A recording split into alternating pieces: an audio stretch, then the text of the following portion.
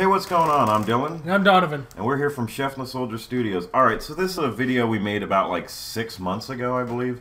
Um, we originally intended to put it out a lot earlier. This was right after we made uh, Unturned Cops, but this was kind of following it. It's in the same note. Uh, the reason why we didn't post it is because we messed up at a certain point in the video, and we never got around to fixing it because life got in the way. And uh, so now we just finally got down to editing this video again.